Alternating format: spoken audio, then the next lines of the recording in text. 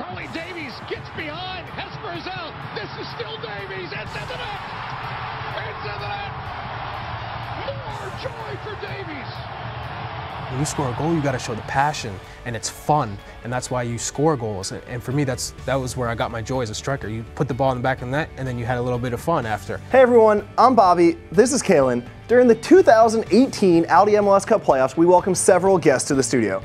During their stay, we had to take the chance to pick their brains about their soccer experiences both on and off the field. You've already heard from Ali Krieger and Taylor Twellman. That's right, Bobby. We've got a good one this week for a Players Talk. We visit with U.S. men's national team player and MLS legend Charlie Davies to talk about his inspiration for his trademark celebrations, the importance of a good haircut before a match, and how the U.S. men's national team defeated a highly favored Spain in the memorable 2009 Confederations Cup semifinal. We were tactically disciplined. We had a game plan. Coach Bob Bradley said, "Look, guys, you know, we, we came in. We kind of it was kind of a miracle. We got the 3-0 win against Egypt. We were feeling ourselves. We were kind of riding high, and then you run into um, a two-year unbeaten Spain team with the likes of Carlos Puyol, Casillas, Villa, Fernando Torres, Xavi, and all the pressure's on them.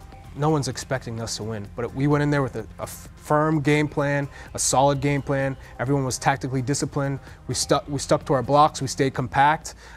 I tried my hardest for 90 minutes to get the ball away from Xavi, which was impossible. Um, but we, we tried to disrupt the midfield. Don't let Xabi Alonso get the time to play those balls. Don't let Xavi get the time to pick his head up and, you know, pick you apart, so to speak. But we were able to stay compact. We were able to get that early goal with Jozy. Uh, what a fantastic finish. He bodied off his former teammate, Capdevila. And um, we believed in ourselves Yeah. and we thought we could do it. This is what I think most people don't realize about professional athletes is how delusional we are. You know, regular people, if they were to know what was going on inside our brain and what we thought of ourselves at all time, you guys, I thought I was Xavi. I legitimately thought when I was being a professional player that I was Xavi. I mean, How'd, I- how'd that work out for you? I mean, not great.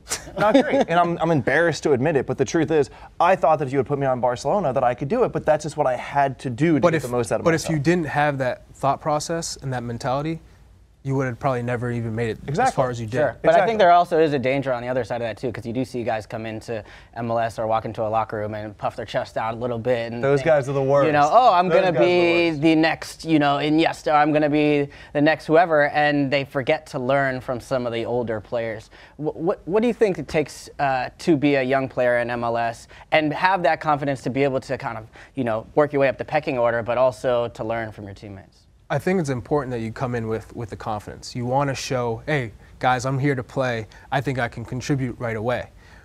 There are reality checks, though, when you realize the demands of everyday training. For me, going to Sweden, you know, I, I was the, the all star in college, you know, first team All American. I thought I'm going to go to Europe and, and strut my way and, and, you know, make it right to Champions League club right away. And it was such a, a rude awakening because of the demands of every single day. You had to train your best every day. And I had a good coach who was Tony Gustavsson, who um, told me, you know what?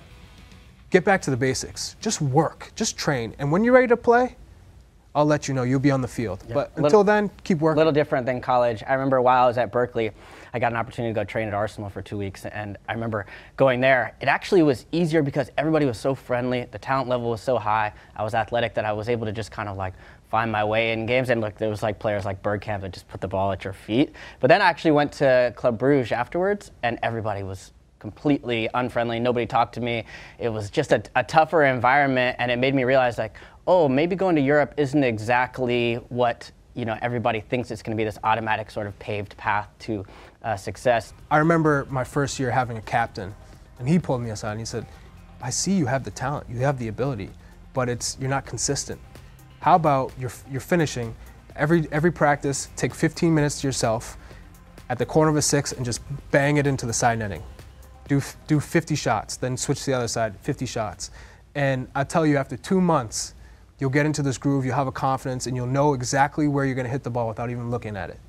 And then, sure enough, I did that, and I played in a reserve game, and my first two two chances, bang bang, side netting, and I was like, oh man, he's he's got a point. the celebrations, the mm-hmm. legendary celebrations. Yes. How'd they come about? Did you plan them when you were, were you in the living room, like doing them in front of a mirror? I when I look back to 1994, the World Cup in the U.S., I remember seeing Nigeria play, and the passion they had when they scored the goals. They ran to the net and they put their, their faces through the net. And I thought to myself, man, when you score a goal, you got to show the passion and it's fun. And that's why you score goals. And, and for me, that's that was where I got my joy as a striker. You put the ball in the back of the net and then you had a little bit of fun after. And so as I got older, I decided to, to throw some something different into it. Let's let's take some like pop culture. Let's take some dances, whatever's happening happening um, out in the in the, the media world. Let's let's bring that to the game. And so I think it's kind of caught on, and, and I've seen people do it as, as it's kind of developed throughout the years, and I think it's it's great for the game. It, it brings an, an, excitement and energy to the game, and uh, I hope to see continue to see. Yeah, it's supposed to be fun. I remember in Chicago, I, I, had a headband. This is sort of I hope they don't pull the video for this, but I would spin the headband around, and then when I had the helmet in Houston, my buddy texted me and was like, "Yo, when you score a goal." take the helmet off, man. That's when the camera's coming for you. So I had to figure something out.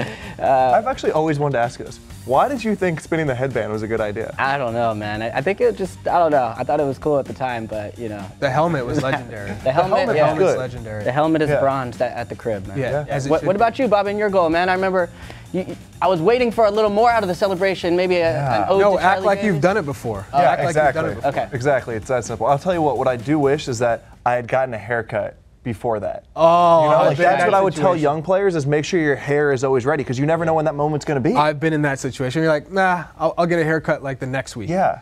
You look a little rough, and then you score a, a banger. Yep. Right. The camera's all in your face, and you're yep. like, oh. And then it lives with you forever. You want to show your friends. You want to show girls when you take them out for a first date. You know, look what I did. What do you, you think you would have gone for if, if, you had it over a Gyasi? You think maybe an Urruti? What, what, kind of look would you have if you had you know, another shot? Tommy McNamara. Yeah, Tommy yeah, right. You don't think I could have stanky legged? Uh, no, I mean, yeah, I was thinking more the hairstyle. Hairstyle. The hairstyle. Yeah. Oh, the hairstyle.